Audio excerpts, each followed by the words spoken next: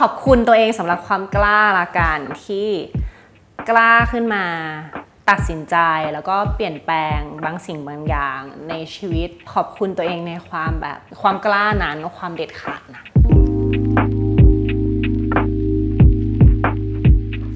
สวัสดี World Beauty Thailand ค่ะ อยู่กับโยเกิร์ตนัทชาค่ะ จริง ๆ โยทำควบคู่ไปหลาย ๆ อย่างนะคะ ไม่ว่าจะเป็นเรื่องแบบ เรื่องกิน เรื่องออกกำลังกาย เรื่องพักผ่อนครีมหรืออะไรเงี้ยโยทำทุกอย่างควบคู่กันไป ถ้าจะให้โฟกัสเรื่องแบบรูทีนการแบบบำรุงบำรุงผิวหน้าอะไรอย่างนี้ ก็ถ้าพิเศษขึ้นมาหน่อยที่รู้สึกว่าทำมากกว่าคนปกติที่ทาครีมเช้าเย็นเนี่ย ก็จะเป็นเรื่องมาร์กหน้า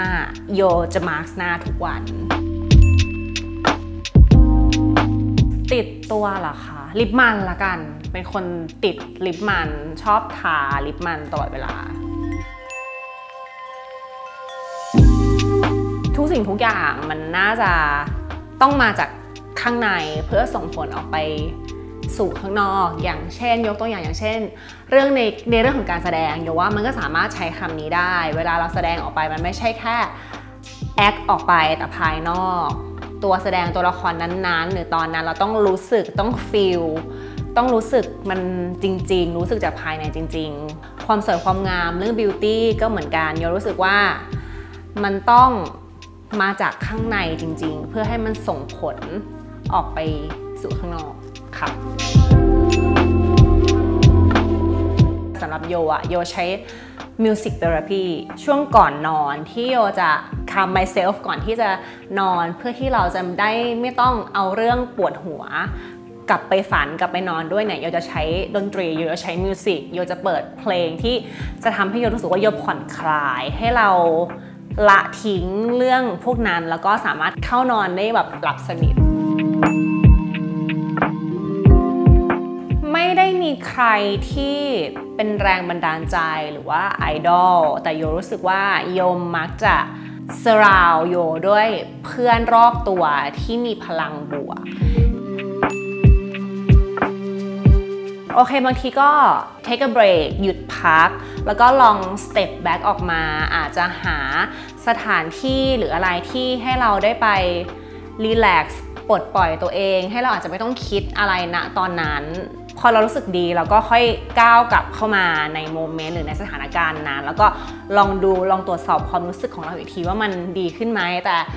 ที่โยเคยทำเคยเจอโยรู้สึกว่า เอ้ย พอมันได้ take a break อะไรเงี้ย เราก็รู้สึกจัดการกับความรู้สึกเราได้ดีขึ้นนะ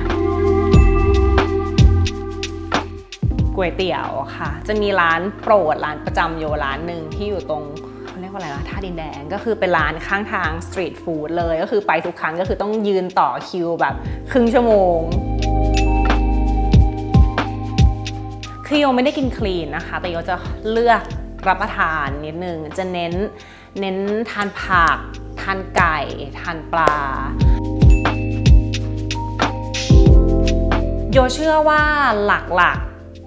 80%คือการใส่ใจการเลือกการกิน ถ้าถ้าเราสามารถควบคุมหรือเลือกได้เนี่ยโยรู้สึกว่าสเต็ปต่อไปในการดูแลตัวเองเนี่ยโยว่ามันง่ายขึ้นไม่ว่าจะเป็นการออกกำลังกายควบคู่หรืออะไรเงี้ยมันจะช่วยส่งผลให้ดีขึ้นณตอนนี้สำหรับโยคือการ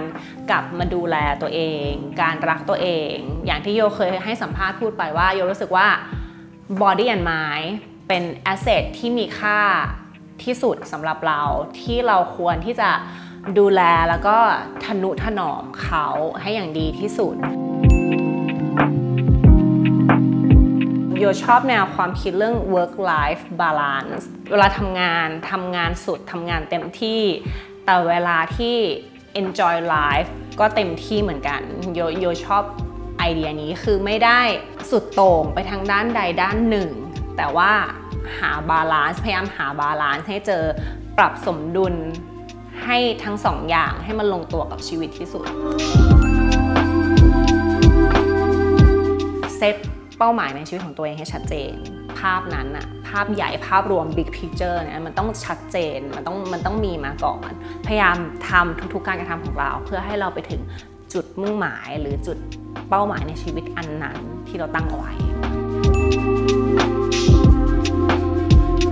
ขอบคุณตัวเองสำหรับความกล้าละกันที่